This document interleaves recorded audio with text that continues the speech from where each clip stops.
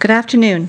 I'm Pat Living with the Department of Health and Social Services and your moderator for the COVID 19 update for Thursday, January 7th. We are joined today by Yukon Premier, the Honourable Sandy Silver, the Minister of Health and Social Services, the Honourable Pauline Frost, and the Yukon's Chief Medical Officer of Health, Dr. Brendan Hanley. Once again, our sign language interpreter Mary Thiessen and André Boursier from French Language Services Directorate are with us today. Following our speakers, we will go to the phone lines for questions from reporters.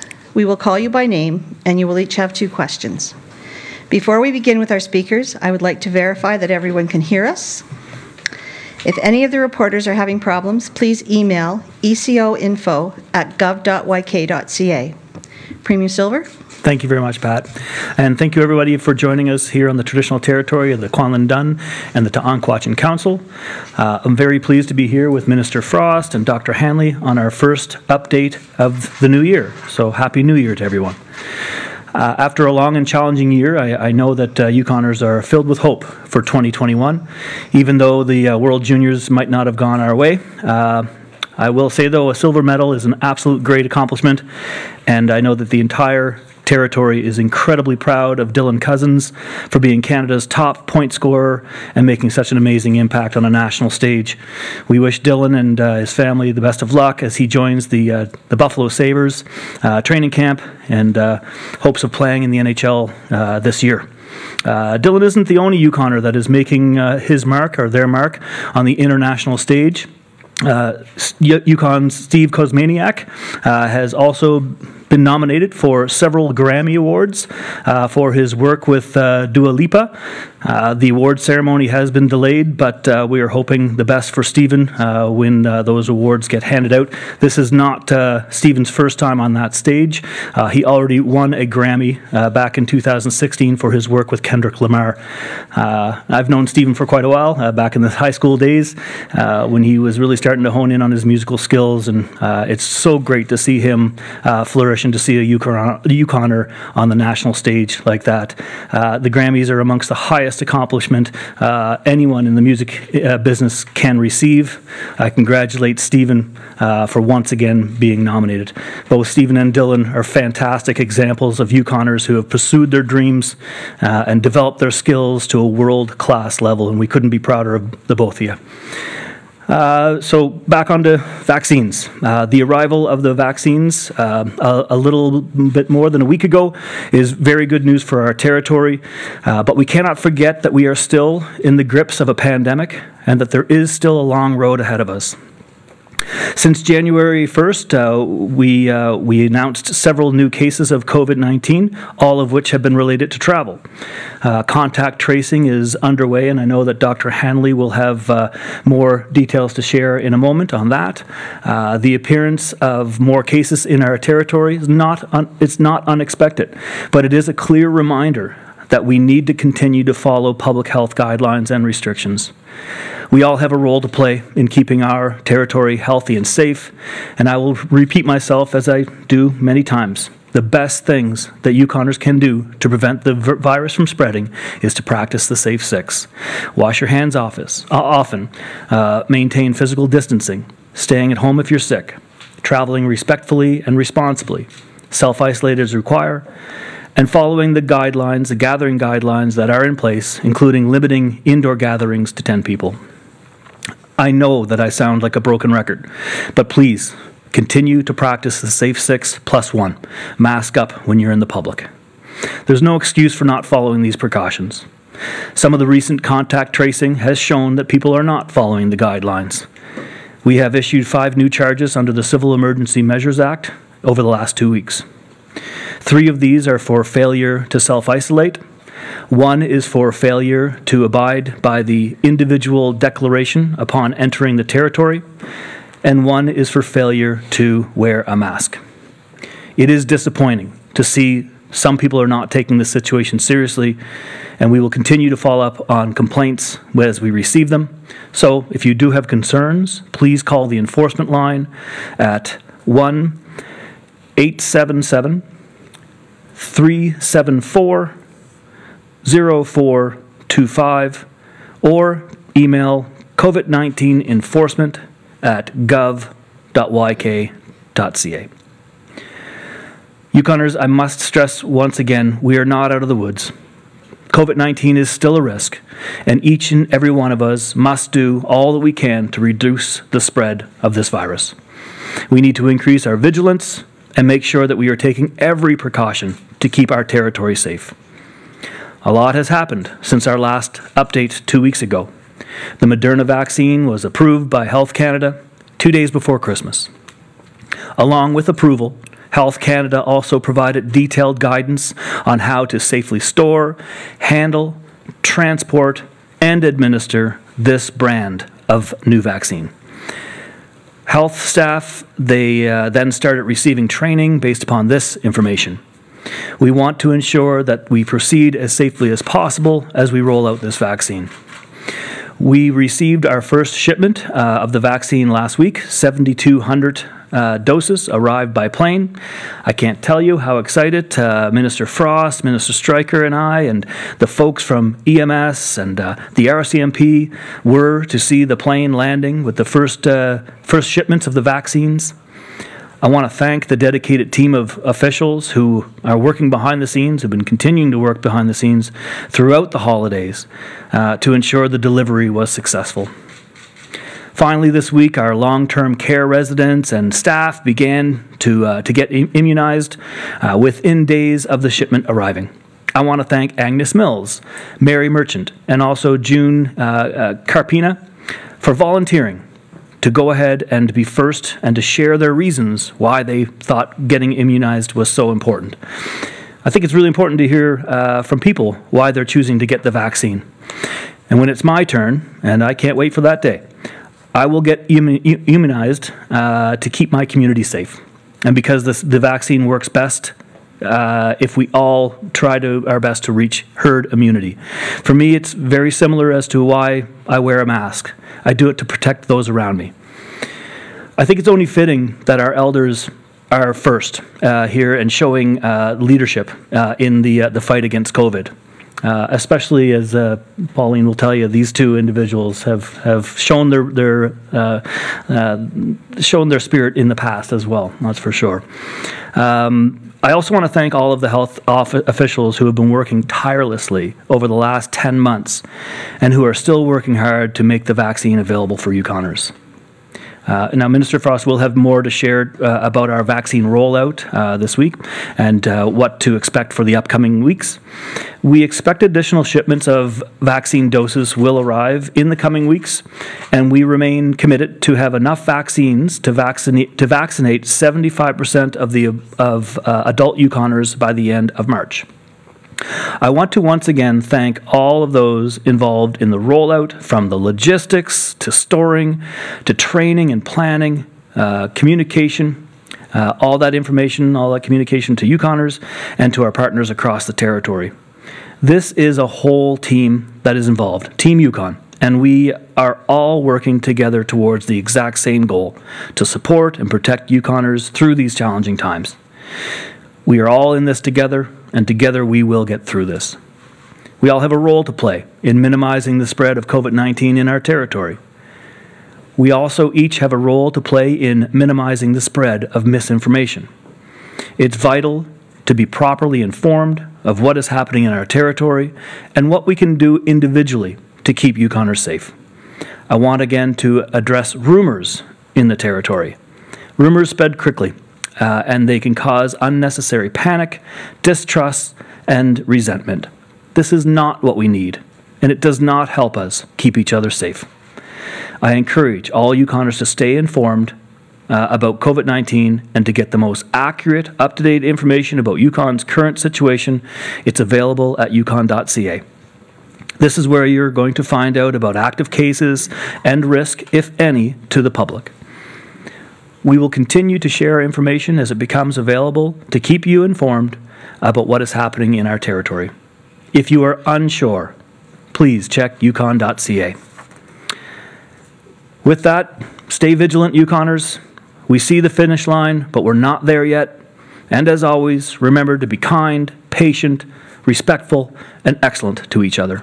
Thank you very much. Thank you, Premier Silver. Minister Frost? Uh, Jen Guinzi, um, Masicho, uh, to all of you for joining us today. Um, earlier this week, the first three Yukoners were immunized against COVID 19 in our uh, Whistle Bend long term care facility. I must say, the stories told by these two residents about their past and why they were getting immunized humbled me. In spite of their age and what they have seen throughout their many years, they were amongst the first to raise their hands when the, when the vaccine was offered.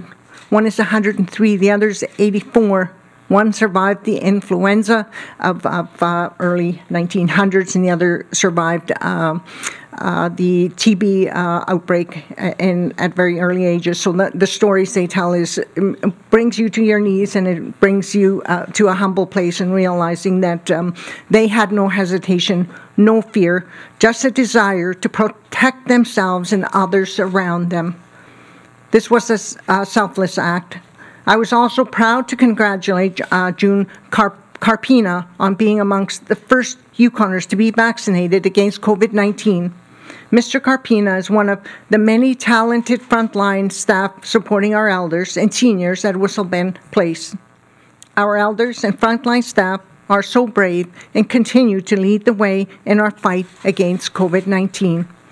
We all held out hope for, for a vaccine, and this week we have been able to begin less than 10 months after the first case arrived here in our territory. Since Monday, we have immunized 310 individuals, and I'm happy to say that there were no adverse reactions. By the end of this week, I understand from the staff we will see an anticipated 500 um, individuals reached. Things are going well so far. We expect to immunize 100 uh, more residents and staff at long-term home care, uh, long-term care homes today as we continue to roll out the vaccines.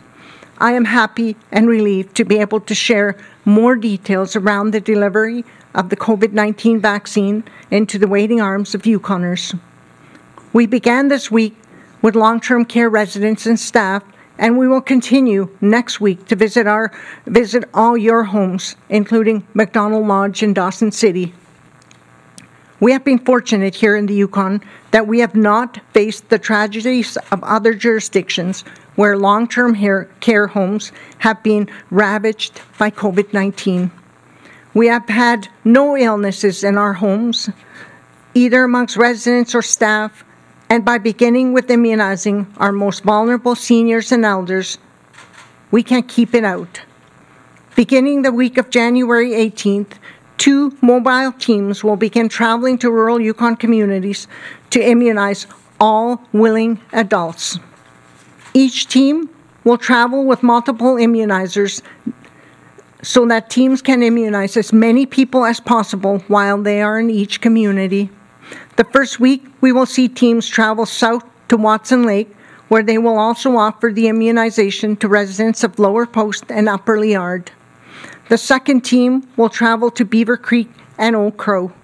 During uh, details of times and locations will be available on the website as soon as locations are confirmed.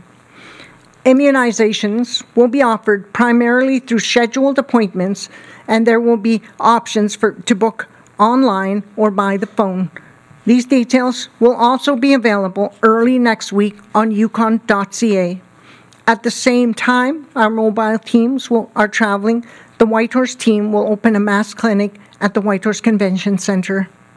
The initial priority will be high risk healthcare staff, including First Nations healthcare workers and those working at the Whitehorse General Hospital. We need to work quickly to protect our frontline health care workers. At the same time, we will be immunizing our vulnerable and at risk populations, including seniors. The clinic at the convention center will open six days a week, 12 hours a day, so that we can immunize as many Yukoners as possible.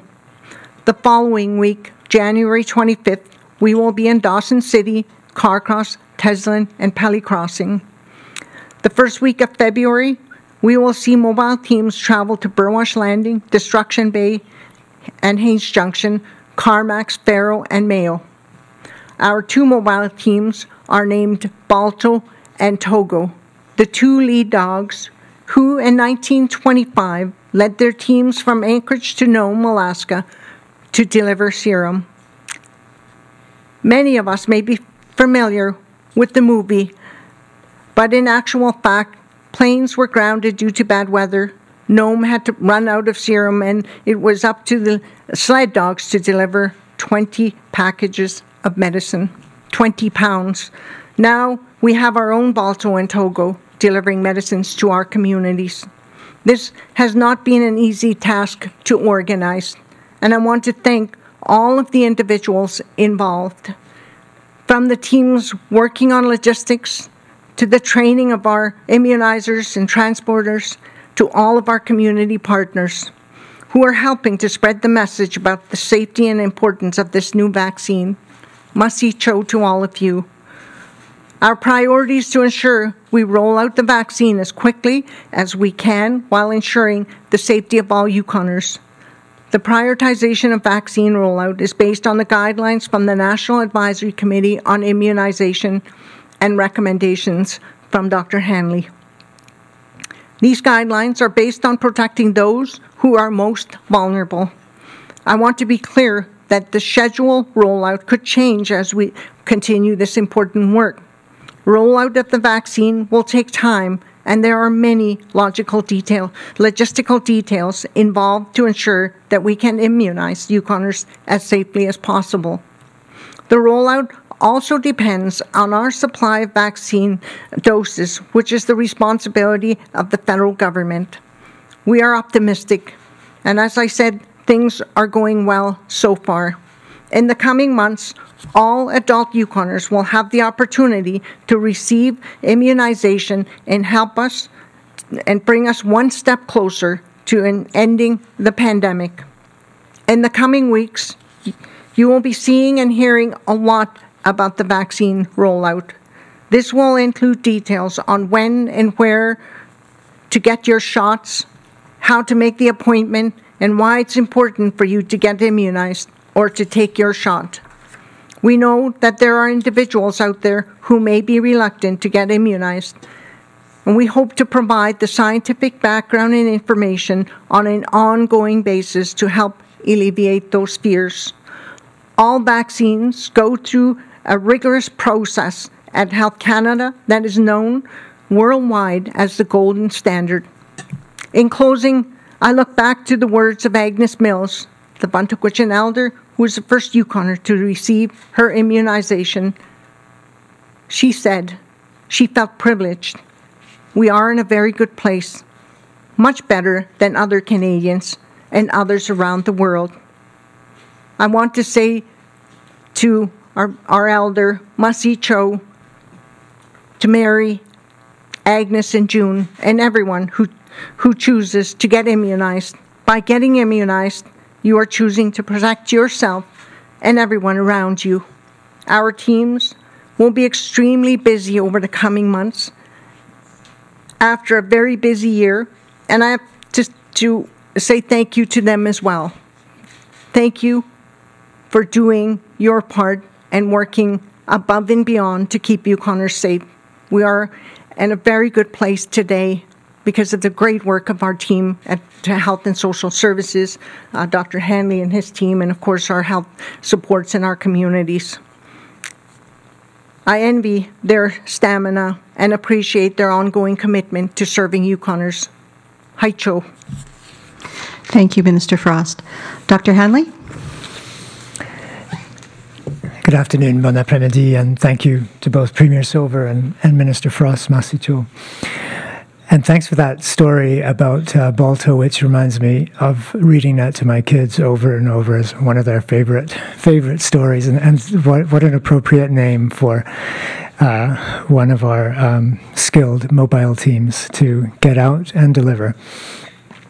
I want to talk, uh, uh, uh, give an overview of recent cases uh, today, both both possible and confirmed, and and uh, bring you up to date uh, with what we're seeing and what we expect to see in the coming weeks.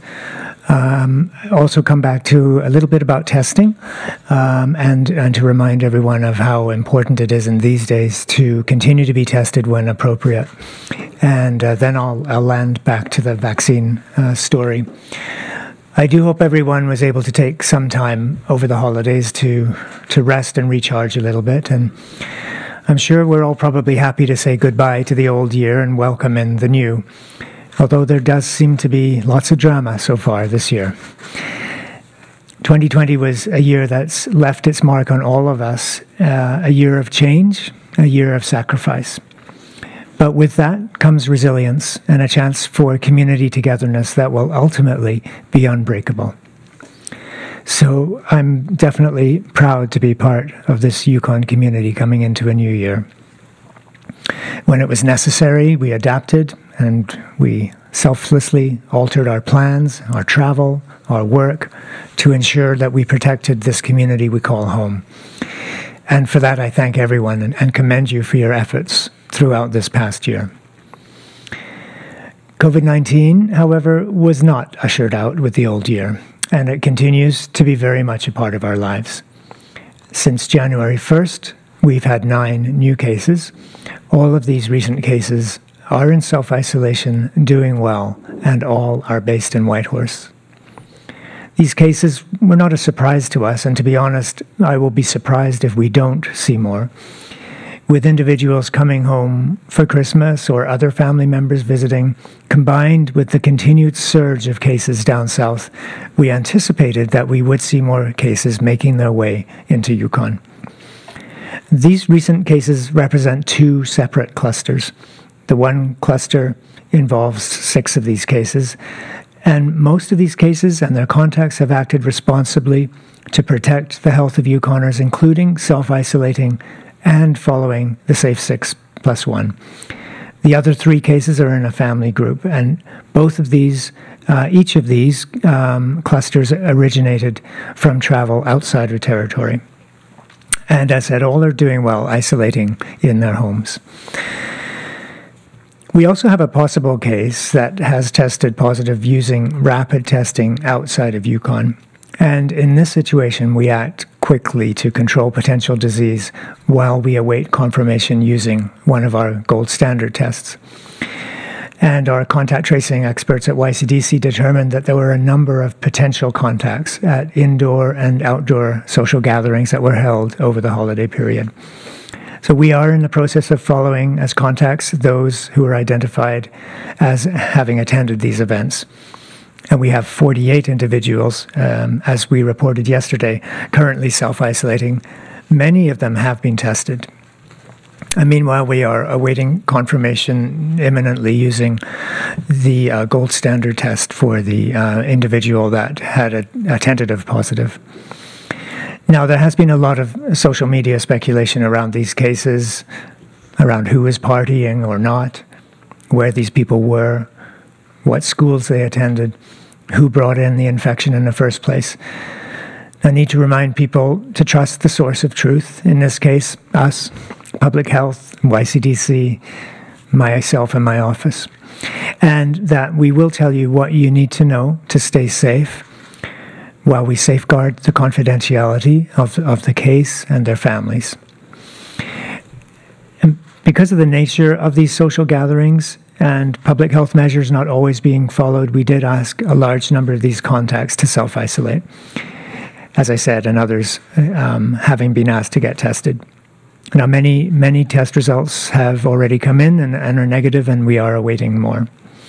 But this is really the point of this was to allow us to identify any transmission of COVID 19 that may have occurred at these events, and of course, then to prevent onward transmission. And again, as I, I, I, did say this yesterday, but I, I want to stress uh, again about the schools that um, among these there were a few high school students um, identified, but we have no evidence of any exposure to COVID at any of the schools and and we have no COVID cases linked linked to schools. So again, please continue to um, attend school as normally for, for students. Continue to observe those public health measures that should now be daily routines for schools, including screening for illness before attending schools. Using that traffic light guidance, following all of the safety precautions while at school, including mask use in those common areas and on the bus. So overall, this situation serves as yet another New Year's reminder that Yukoners are not immune to COVID, and neither are young people immune to COVID or its effects. And although largely a benign disease in young people, it can unpredictably cause severe disease or prolonged symptoms in anyone. Don't play Russian roulette with COVID 19. It's not worth it. And even if you do get over it quickly, your parents or grandparents or friends or colleagues may not fare as well. I hope these cases are a good reminder for us of how susceptible we still are to COVID, of how we all have a responsibility to behave responsibly. And that means behaving as if COVID 19 is in our midst, as it often is. Everyone must continue as the Premier says, to follow the safe six plus one. so, this is tough news to start the new year with, especially as we had finished or almost finished 2020 with no active cases within Yukon. As cases surge around the country, we look out, though, from within, and it's e- easy to get lured into complacency. And I, I think that may have happened yet again here. Sometimes we feel that we're so protected in our bubble that when a new case is confirmed, there's this shock that travels throughout the territory. And I urge you to recall when I've said previously that COVID 19 should always be assumed to be active here. Whether or not we have confirmed active cases, chances are it is lurking somewhere close. We can do everything in our power to avoid COVID 19, but we will not eradicate it from Yukon. So it's crucial that we remain on guard. If we don't, we do risk seeing an increase in cases as we get further into 2021, and even the risk for community transmission. That feels like an avoidable tragedy when we are so close to vaccine coverage.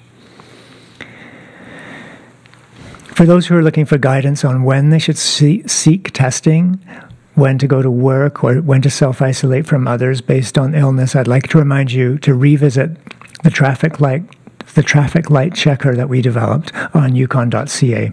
And this guidance we developed to assist people who may be exhibiting symptoms and unsure of how to carry on with daily activities or, or whether to carry on. If you're experiencing new symptoms that appear without explanation, even if it feels similar to that annual flu or cold, the traffic light guidance informs you when you should seek testing and what activities you should be absenting from until symptoms resolve or until the test result confirms a negative result. We designed this really to be as practical as possible based on our, our risk environment, but to recognize that uh, testing is important. It remains important, and it's particularly important at this time of year. Uh, really, anyone with symptoms uh, needs to stay home and do that self assessment to determine the need for testing. Well, Monday certainly was a red letter day for the territory as we began the rollout of the largest vaccine strategy to date in Yukon. And uh, as the minister says, as of the end of yesterday, we had vaccinated more than 300 people in Whistle Bend Place, including uh, staff and residents here in Whitehorse. So we are enjoying this kind of new level of, uh, of, of excitement, but at the same time, it's, it's more important than ever not to jeopardize our community's safety or, or to begin taking public health measures lightly. Let's be clear even when you receive your vaccine, public health measures will remain in place. We have to do the work, along with the rest of the world, to figure out when and how we can let go. While the immunization offers great protection against the virus, we don't have as yet a lot of information on how the vaccine prevents or limits transmission. We also don't know for sure that the vaccine prevents asymptomatic disease. So when you receive the vaccine, you must remain vigilant and actively follow the Safe 6 Plus 1. Even though you may be immunized, if you choose not to follow public health measures, you could still put others not immunized at risk. I'm so pleased to be here with the Minister and the Premier as we share the plans for the COVID vaccine in Yukon. Another historic moment in Yukon is ours to live. And when it comes to vaccine, We're not going for the silver medal. We're going for gold. So remember, monitor your symptoms, and if you're sick, seek testing, and remember that COVID 19 is just as easy to contract as a common cold. We will be releasing more information over the coming weeks about public health measures and how that relates to vaccine. But vaccines do not yet alter our current need for public health measures. But that is a future we're all looking forward to. Always remember safe six plus one. Please use your mask. That's the best way to protect yourself from COVID 19. That's all for my update. Thank you, Masicho. Merci. Remember to take care of each other and stay well. Thank you, Dr. Hanley. We'll go now to the phone lines, and if I could ask the reporters to identify which speaker you would like to respond to your question, that will allow our ASL translator to move back and forth so she can provide the, the information. We'll go first to Danielle from CBC.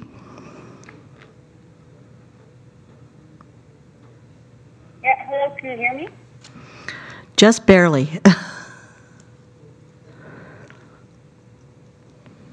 Hello, can you hear me? yes, we can hear you now. Okay, great. Um, I guess this one is for the premier. Um, you know, talking about rumor mill- mills starting and whatnot. We're hearing that some parents, uh, with that letter that went out to students, some parents are saying they were aware of the exposure this weekend. So they're kind of wondering why the information came out on Wednesday. So I guess I'm just curious when the government found out about the potential of exposure or the potential risk and why the notice was sent out on Wednesday. So again, um, we sent a letter out to support the, the school communities in addressing parents' concerns.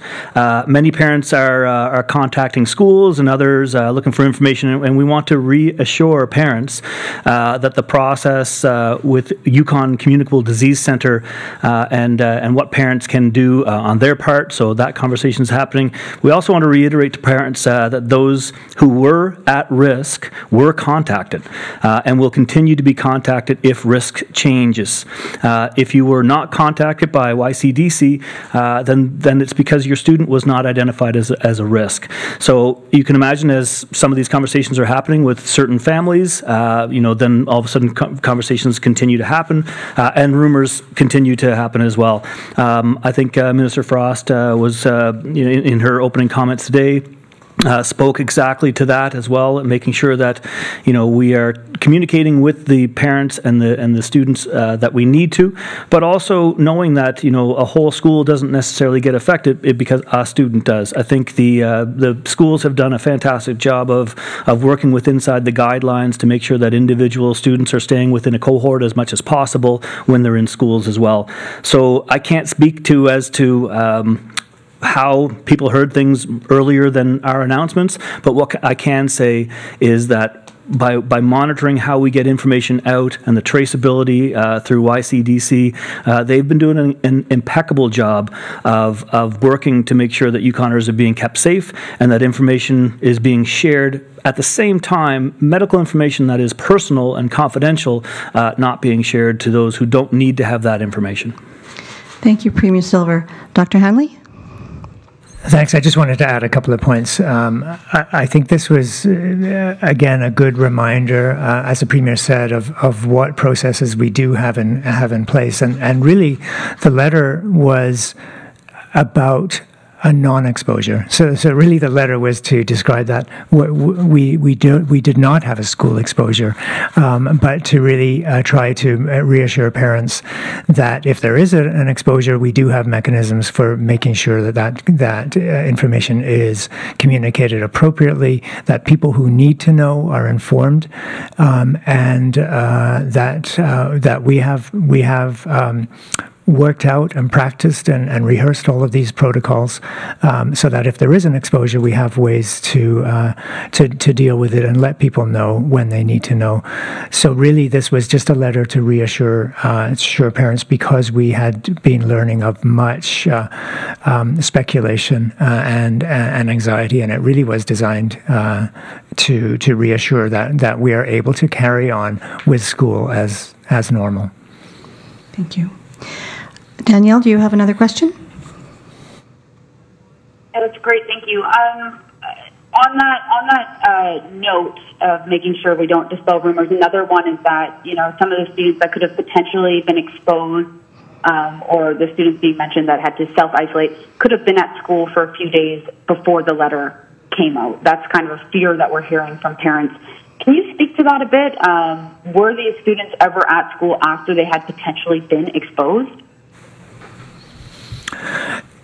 Yeah, it's a good thing to speak about. And, and again, we, we kind of address one layer at a time. So when, if, if we were concerned enough that uh, a, a, child might have been uh, symptomatic or, for instance, uh, at high risk of exposure, um, then we would take the appropriate precautions and, and do notifications. In this case, they were not, not necessary. This is a very, very low risk.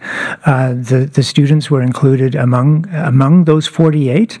Uh, so it was three or four students in that group of 48 who happened to be high school students who, as a precaution, because of a possible uh, a, a, possible uh, infectious source, who attended events.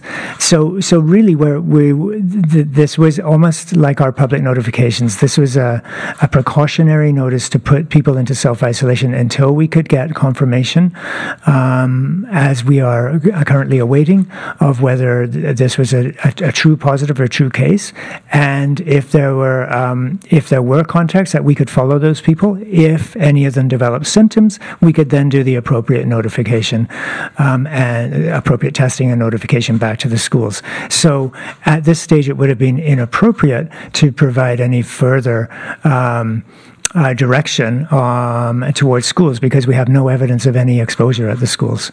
So, uh, so, so yes, the the students transiently attended school, but that does not that that did not in, increase any risk of exposure. If one of those students, let's say, the case turned out to be positive, one of the students was uh, confirmed as a contact, developed symptoms, then we would go back and then do the appropriate contact tracing. Keep in mind that there is always a risk of COVID in our communities. There's always a risk in our schools. That is why we have the public health and safety measures in the schools. And that's why we can confidently continue to uh, be able to, um, to, to, in, to inform and, and, and encourage people to attend schools. We're always working in a COVID risk environment. One day we will get out of that environment and be able to return as we used to. But uh, that those measures that are in place are sufficient to allay that minimal risk that could have resulted in in some kind of exposure at a school. Thank you. We'll move now to Luke from CKRW. I have a question for Minister Frost. Are we going to be seeing updated uh, statistics on vaccinations posted regularly to the website as far as amounts of people who have received their first and second doses and uh, and the amount of uh, doses that we've received from Moderna? Uh, thank you. Uh, thank you for the question. Um, certainly, um, what we do want to uh, do is keep Yukoners informed. So the data will be uh, shared uh, quite regularly, um, as we just did now. Um, we will continue to do that as we bring the vaccines out into the communities as well. So thank thank you for the question. Thank you, Luke. Do you have another question? Uh, yes, there were. A, I know you did mention a lot of the dates as to when uh, when the communities were going to be getting these vaccines. I was just wondering if you could reiterate again when uh, when you expect the general public in Whitehorse to start uh, being able to receive their vaccines. Oh, thank you. Uh, great, great question. Um, so we we will uh, share the rollout plan with you. Uh, if it hasn't been already, we will share it with you shortly. So the expectation is that we will have the role, uh, the general public um, uh, and the clinic opened up in uh, Whitehorse on beginning the week of January 13th is my understanding. If that changes, we will certainly post it on yukon.ca. Uh, all of the information will be posted on, on the website. So encourage everyone to please go to the website for the most current detailed information. Thank you. We'll move now to Tim from Whitehorse Star. Yes, hello. All right, my first question is uh, for Minister Frost and uh, probably Dr. Hanley. Uh, do you have any idea of when more of the vaccines are going to be available? Because currently you have enough to do 3,300 people with the two doses that they need.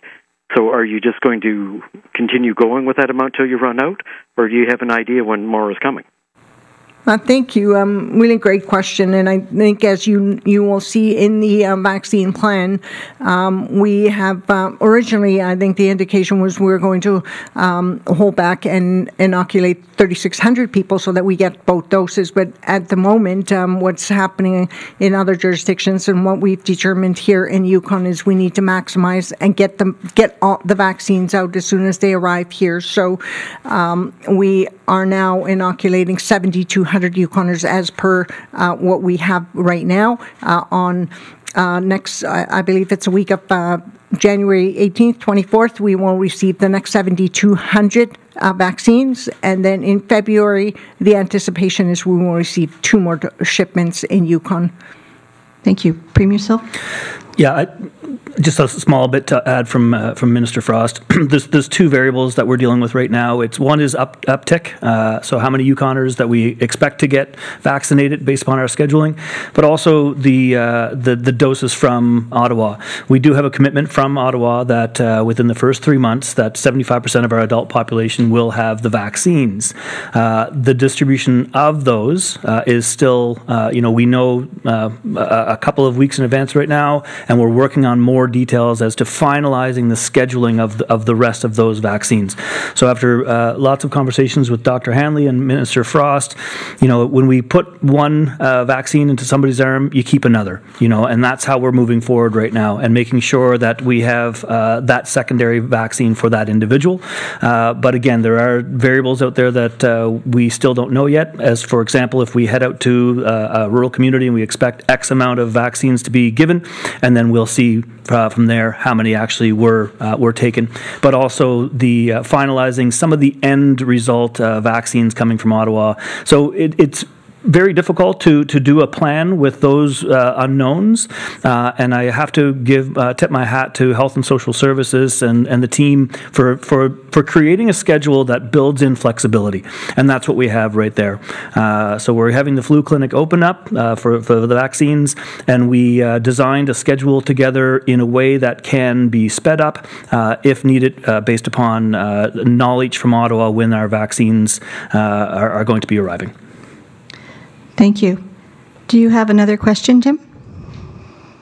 Yes, I'm going to do a follow up with the Premier on that, please. Um, you indicated and promised a number of times through the end of November and December that we wouldn't be getting the vaccine in dribs and drabs, yet that seems to be what's happening. How do you reconcile that? Well, I've said the whole time that I would like to see that. That's that was my recommendation from the get-go. I, I still am saying that it would be a lot more advantageous if we get it all in one foul swoop. Now that didn't happen, uh, but we're still working with the federal government. I'm in on a call with the Council of the Federation and the First Ministers meeting today, and I'll continue to say we need to get these vaccines as quickly as possible. Uh, and now uh, we definitely need to get them as quickly as possible because the government, the Health and Social Services Department, has proven its ability uh, to uh, quickly uh, train and to quickly get our, our priorities figured out and to have a schedule. So here we are ready, willing, and able, and we need to make sure that we have certainty from Ottawa as to when all of our doses are coming. Minister Frost? Thank you so much. Um, thank you for the question because I think it's one that we certainly need to reflect on as well. I mean, uh, what we indicated is that um, we we have a vision, and the vision is to have 75% of adult Yukoners over the age of 18 vaccinated by the end of March. That is our target, and the schedule allows us to do that.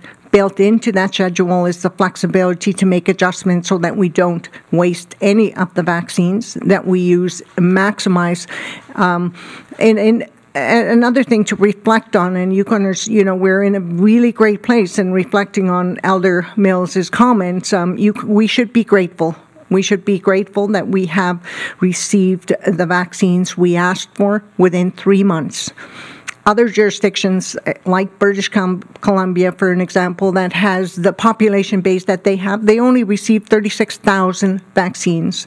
Um, what we know is that um, as the rate is uh, being rolled out in, in, in Ontario, the anticipation is 5.5 years right? That might not be factual as of uh, the coming days and weeks and months as vaccine comes available, but based on the first rollout. So, just for reflection, I want to just say how privileged we are and how honored, how, how, how I feel so honored and humbled that we have an opportunity to protect Yukoners by rolling out the vaccines as we are in such a short time frame. So, thank you for the question. Thank you. We'll move now to John, CKRW. Hi. Uh, so I'm interested in, in, in, learning more about the infector who uh, went from holiday gathering to holiday gathering. Um, I'm wondering if they were charged with failure to isolate because the understanding is that they knew they had COVID and still chose to go to these holiday events. Dr. Hanley? Yeah, so I, I, think that's where we have to be very careful uh, about a few things. One is making conclusions based on uh, lack of information. Um, so, uh, so a, a, lot of what you said is actually not true. Uh, this person, for one thing, is not uh, an infector.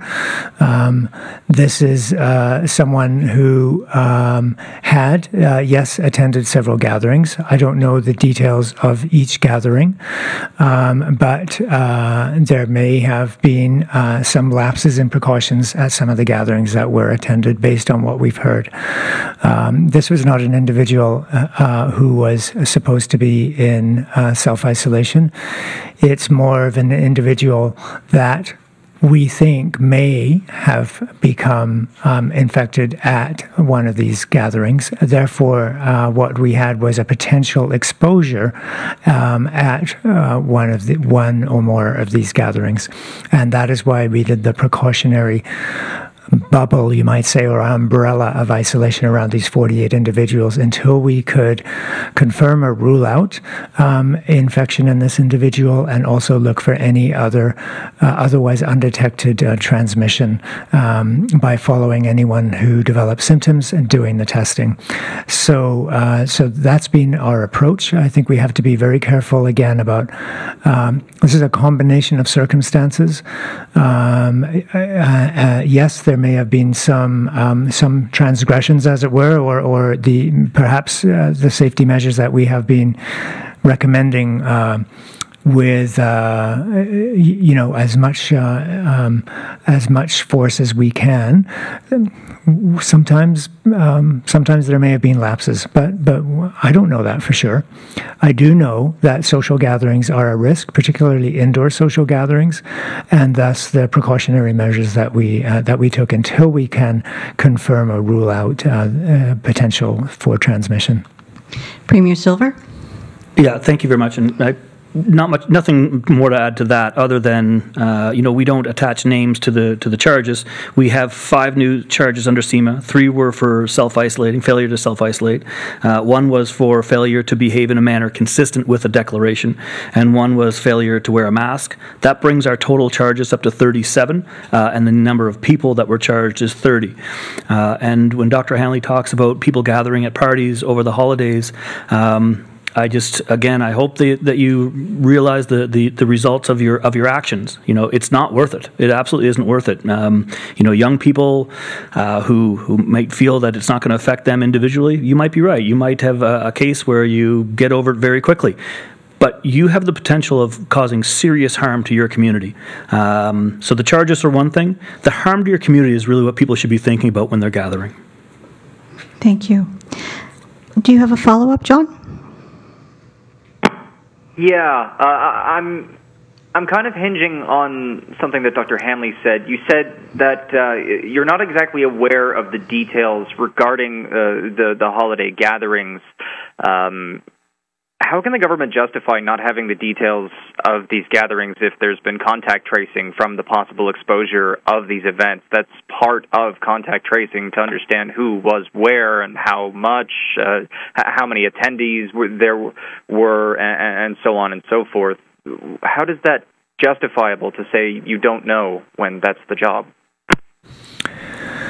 I'm going to have to break it to you that I don't know the details of every person that's contact tracing and where they've been and what they've been up to, but people do know.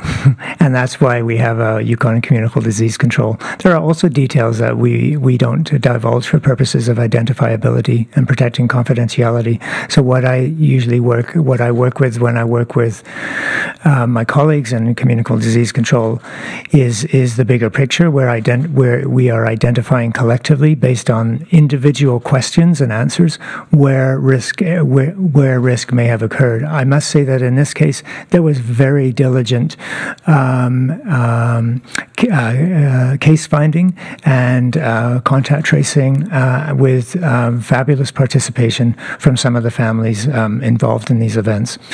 So, um, but, but nevertheless you know what what we talked what we see are a number of gatherings with there was no uh, what large um, rave party or you know huge gathering that there, there was no real alarm bell from any particular event. It's just that we had an accumulation of gatherings where lapses may have have uh, have occurred. And without having kind of a surveillance camera at each of these I'm, I'm not sure that we could identify every time that someone may have been uh, not socially distancing or not wearing a mask. So uh, so I want to just take this again a little bit of a, a higher level to uh, talk about where we see potential risk for transmission. That is our focus. Um, our focus is on uh, preventing, uh, identifying uh, infection, identifying risk for transmission, and preventing uh, on the potential for onward uh, transmission. That that really is the focus. Thank you. We'll move now to Nick, Canadian Press. Hi, yeah, I'm just looking for a little bit of clarification on the vaccine rollout plan, uh, and apologies if it has been made clear before. But when um, when the government says that they're going to be vaccinating people, does that mean they're just giving them the first dose of the uh, vaccine? Mr. Frost? Thank you. Um, that that is correct. Um, so as we roll the plan out and we um, uh, go into the communities, I've indicated earlier in terms of the scheduling and the, how the schedule was uh, devised and uh, and the priority population base and how we were um, addressing that, particularly here in our large urban center, given the uh, population base here in the city. We, as we go out, we certainly want to make sure that we hit every possible person in all of our rural Yukon communities. So the criteria is a little different in terms of when we show up in in a community, uh, say like uh, Burwash Landing, for an example, right? Small community, you can inoculate everyone in your first uh, visit. Um, and then the, the follow up for that. So we want to make sure as the plan is rolled out that we are following up with the second dose in, in a way that is within the time frame allotted for uh, the second dose as defined by, um, by the um, National Standards Organization. Thank you. Do you have a second question, Nick? No, that's it for me. Thank you. Thank you very much. Oh, sorry, Dr. Hanley? Yeah, just going to follow up the minister's uh, comments, uh, uh, agreeing with the minister, but but just uh, you know the the goal is uh, two doses into every Yukoner that will come forward to accept vaccine. Our our, our kind of target is 75 percent. That is two dose coverage um, by through through this first quarter um, up till the end of March, beginning of April. Thank you. We'll move now to Chris from CBC. Uh, good afternoon. Uh, question for uh, Dr. Hanley. I, I, just want to go back to the to the school situation a little bit. Um, you mentioned that the three or four students who were possibly exposed uh, did attend school. Um, my question is, why were they allowed to go to school at all, and how can you say that allowing them to go to school doesn't increase the risk at school? Yeah, just to be clear, um, again, um, and and I think it should be largely reflected in the, in the letter, but um, the, the the the identification and, and the contact tracing occurred after after that fact. So by the time the self isolation order um, had was taking place, is when the, the kids, as soon as self isolation occurs, you do not go to school anymore. So so you know there's there's always a, a lag. The kid the, the kids don't necessarily know uh, automatically that they may have been uh, in um, exposed to a to a COVID transmission. That that whole kind of investigation has to take place as soon as the notification occurred. Then and the self isolation writ dropped, as it were. Then they're out of school. Do you have a follow up, Chris? Uh, yeah, thank you. Um, I guess for Dr. Hanley or or, uh, or Minister Frost, whoever wants to uh, to answer that, and um, uh, that is that uh, as uh, Minister Frost mentioned, that we have not had any any cases of COVID in our long term care homes, and I think we're all grateful for that. Um, but given that, and given the fact that the places where we have had exposures have been airlines, uh, retail settings.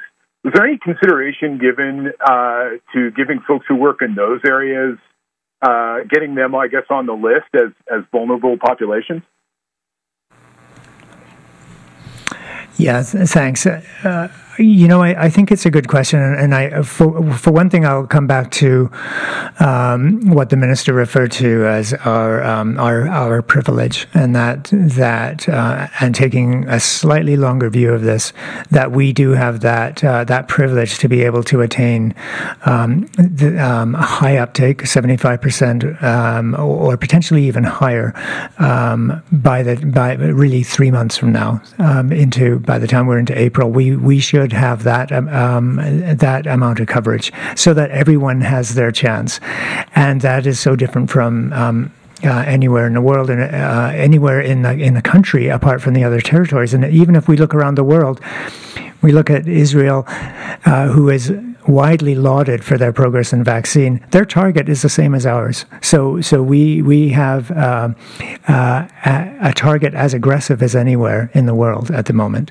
and uh, I'm confident that we're going to get there. So that I know that's not directly answering your question. I, think we it comes back to that question of where will we have uh, risk, and, and, where are we going to see where where do we see the most the most risk, and and it really comes down to uh, those priority populations that have been identified at national level, but which are also very applicable to us. So so we look at what what would be the consequences of an outbreak in in long term care, and uh, uh, we know that that's where we have seen uh, high high infection rates, high mortality rates, and uh, real devastation. Um, and so, um, where where we see, um, for instance, other priority populations, people who are who are marginalized, uh, people who are elderly, that's where we see risk risk of severe outcomes. And then um, protecting our healthcare workers are uh, as a priority population um, uh, to be able to do to do their job, whether that's frontline in, in public health or or in healthcare. So there, I think, I, I think we are very solid with our priority populations. Yes, there are these kind of uh, exposure risks, very few of them have actually resulted in any infection uh, in these public settings. But it does come back to all of the other measures that we need, including maintaining safe workplaces, um, having these uh, public health measures, including distancing and uh, mask use and sanitation and all of that. They're all layers, and now vaccine is our uh, additional layer that we're just bringing on. Thank you. We'll move now to Claudiane, Radio Canada. Oui, pour le docteur Henley, euh, j'ai un million de questions. On va s'en tenir à deux. Euh, donc, la vaccination débute mi-janvier pour la population générale avec en priorité les travailleurs de la santé. Ma question, donc, juste pour confirmer que j'ai bien mes faits comme il faut. Et est-ce que les travailleurs de la santé sont obligés de recevoir le vaccin s'ils ont eux-mêmes des préoccupations? Est-ce qu'ils sont obligés de le recevoir?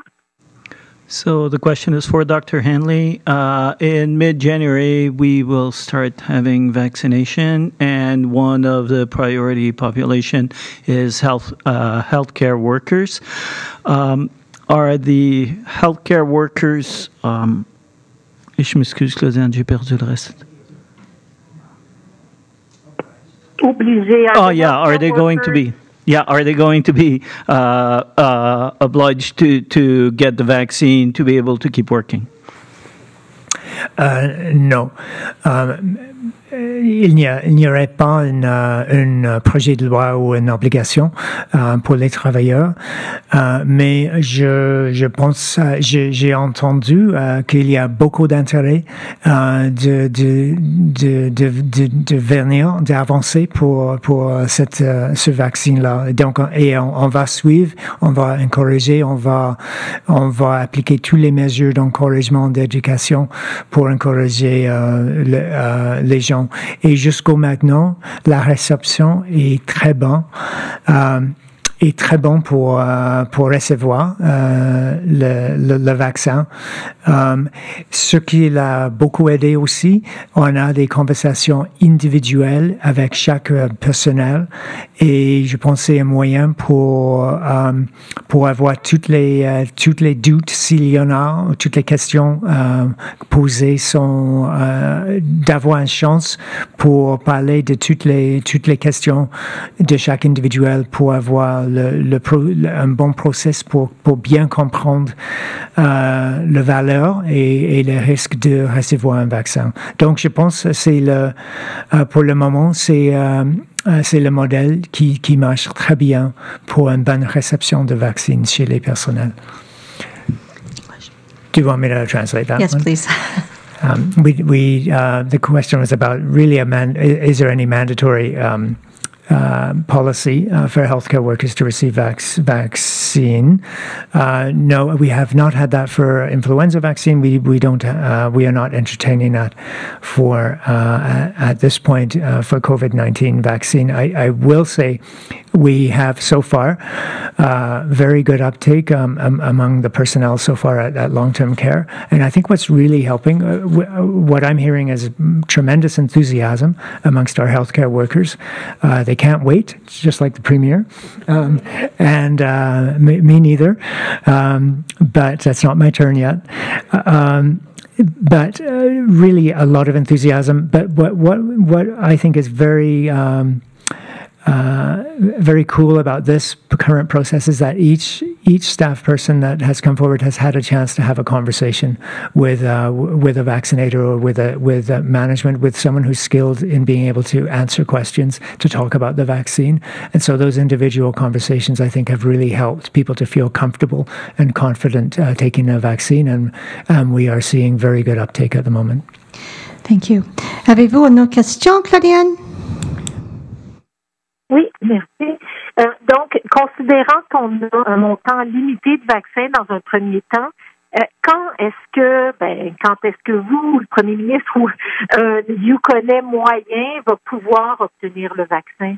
So, given that we have this limited uh, quantity of vaccines available, when is the average Yukoner uh, be able to get vaccinated? So I, I, think Minister Frost dealt with that very well in talking about uh, when they're coming out. Uh, you know, again, uh, if you don't already have the information, Claudiane, as far as the scheduling that we have, that will be provided today. Uh, and again, we spoke uh, about the flexibility of the plan. Um, you know, if we uh, get more information from the feds on on the full distribution cycle, that will affect our vaccinations. Right now, we are making sure that we're rolling out the 7,200 that we do have, knowing very well that we're expecting another uh, round of 72 uh, two weeks per, in two week increments from the first uh, shipment, uh, but there is still more details from Ottawa, and so uh, uptick on the on the each week uh, and how many Yukoners get vaccinated, but also finalization of the commitment uh, from Ottawa to make sure that within the first quarter of 2021 we will have enough vaccines to immunize 75% uh, of our adult population. the details as to when the all the full shipment of all those first and second doses, we don't have that information from from Ottawa yet, but right after this meeting, that's exactly what I'll be talking to the Prime Minister about. Thank you. We'll move to uh, Marine Roboreal. Merci. Um, ma, première question est, euh, l'objectif est de, de vacciner 75% de la population, euh, mais comme le docteur Anne vient de le mentionner, ce n'est pas un vaccin obligatoire. Qu'est-ce qui arrive si euh, au mois de mars, la- on n'atteint pas cet objectif, si le 75% n'est pas atteint?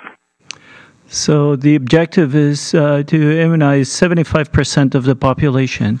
Um, given that the vaccine is not mandatory, uh, what is uh, your plans if we have less than 75% of people wanting to be immunized? C'est euh, oui, on a on a plein de questions pour pour le futur. Euh, et euh, et les mesures publiques par exemple euh, vont dépendre certainement sur le euh, sur, le- sur la proportion de personnes euh, qui, qui ont euh, qui ont reçu le vaccin. On va continuer d'avoir le, le vaccin disponible. Euh, c'est c'est pas que c'est fermé après le, la fin de mars. Euh, donc on va continuer à avoir euh, et et aussi j'espère produire euh, peut-être les autres produits. Si par exemple il y a des certaines personnes qui qui peuvent pas recevoir le Moderna, on a dans le futur autres euh, produits euh, disponibles. Donc euh, on va continuer à évaluer et avoir aussi euh, mieux de connaissances sur les conséquences d'avoir un certain pourcentage. Par exemple, c'est possible qu'avec même 50% de la population euh, vaccinée, ça va, ça va être suffisant pour euh, empêcher la circulation de COVID. À ce moment, c'est une estimation, mais ça va changer ou plus haut ou, plus bas. Donc, il y a, il y a beaucoup de questions toujours à, à- à se poser, à, être euh, répondues, mais pour le moment, c'est, un but. On, va, on va dépenser toute l'énergie pour atteindre euh, euh, cette, euh, cette but d'avoir euh, d'avoir euh, au moins 75% de la population adulte vaccinée. Et puis, euh, on va réévaluer euh, ici à fin de mars pour le- les prochaines étapes. I'll just uh, translate that one too. Uh, what if we don't get there? Uh, is the question. What if we don't get to 75%? So I, I've said a, a few things. One is we're going to learn a lot more about this vaccine as we go in terms of what does it mean to be covered at 75%? What does it mean to be at 50%? What, uh, what, how much do you actually need to prevent circulation of, of COVID or to minimize the impact of COVID in the community? And therefore, how can you adjust your public health measures and gradually lift? We also, uh, it's not that there's a hard stop the end of March. Maybe there'll be certain uh, other products of vaccine that we'll have available that will be suitable for people who couldn't uh, get the Moderna. Um, maybe there'll be people that, for whatever reason, uh, need more time and need another chance, and we will continue to offer, to encourage, to educate, um, and adjust our goals as we get more information. Maybe we need a higher goal. Maybe it'll be a lower goal. Um, but but really, it's a it's a whole kind of program in progress in progress, uh, based on uh, evidence that evolves as we go, such as the life of a pandemic. Um, what uh, um, what uh, for now though? That what we're putting all our energy into getting to that goal, and our goal is 75%, um, aiming for the end of March. Thank you. Premier Silver? Just add a little clarity to where did the number 75% come from to begin with? Uh, that came from federal government making their best estimates on willingness in in uh, in populations. Uh, we were told from the beginning if if we thought 100% of the population was going to get the vaccine, then we would give you that 100%. But the best science and the best data and statistics at the time from polling was that a good estimate is that 75% of the population will be ready, willing, and able to get the vaccine. But again, as Dr. Hanley says, you know, we are going to be making adjustments as we go, and our goal is as many as possible. Thank you. And And okay, now it's coming on. And I would just add that 75% happens to correspond with an initial estimate of uh, herd immunity coverage. But it is a very rough estimate, and it could be 60%, it could be 90%, but, but it does give us uh, n- not only the estimated uptake, but, but a reasonable goal to begin with. Thank you. Avez-vous une autre question, Marine? Oui, merci. Est-ce que l'implantation du, de, de cette stratégie de, de vaccination va avoir un impact sur euh, la réouverture ou pas des frontières du territoire avec le reste du Canada ou avec euh, les frontières internationales? Immunization have an impact on uh, when the borders can be opened with other provinces or with uh, internationally. Sure. Uh, yeah, I think I think Dr. Hanley uh, said it very eloquently earlier. This is another tool in our toolbox. Uh, you know, it, this we'll see how this planks the curve. And uh, previous to the uh, vaccine, we saw what measures in the summer allowed us to uh, move forward through our plan, which is available on uh, that triggers us forward or backwards through that plan. We're now in that final stage where we have a vaccine and we're put and we're starting that process. But again, whether it's uh, maintaining the safe six, uh, you know, washing your hands, being vaccinated, all of these are tools in our toolbox, and we're cautious, cautiously optimistic on the the next few weeks and months of us being able to get more to a sense of of, uh, of normal. Uh, but again, it's uh, it's it's too early for us to say that uh, at a certain time we're going to be able to start lifting restrictions. But you know, this is this is definitely a good sign, as Minister Frost said as well. We we are in a very enviable position right now uh, from other jurisdictions. Uh, there's some more information to come as far as when the complete rollout of all of our vaccines, w- when the distribution starts uh, or continues. But with that being said, uh, cautiously optimistic, and I know talking to the premiers right across Canada, we know that this will cause uh, a, a reduction in, in the cases, and uh, we're very we can't wait to start, seeing the trends in epidemiology going into a, a direction that allows us to open up more to uh, to other jurisdictions. Thank you. Dr. Hanley? Je vais pas traduire, mais je vais ajouter. Uh, I, I, I won't translate all that. I'll just add to that. Uh, but before I add to that, to that, it reminds me of a very uh, sweet uh, email I had just a few days ago, and the email was from British Columbia, and British Columbia was saying how good she had been, and could she come back into our bubble? And uh, I think we have to say, uh, not yet, but vaccine will help. Euh, donc, c'est une question mondiale. C'est une question qui, qui est sur, euh, ben, sur la table euh, dans, dans tout le monde. Donc, on va avec, euh, euh, avec tous les experts globaux. euh, euh, on, on espère d'être dans une position d'examiner l'impact du vaccin sur la, la capacité d'ouvrir les, les frontières ou, ou internationales ou domestiques. Donc, une question, bonne question à suivre. Thank you. We'll move now to Haley, Yukon News.